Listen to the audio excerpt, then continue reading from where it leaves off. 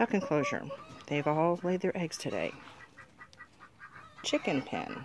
What are y'all doing? What are y'all doing in there? Huh? What are y'all doing in there?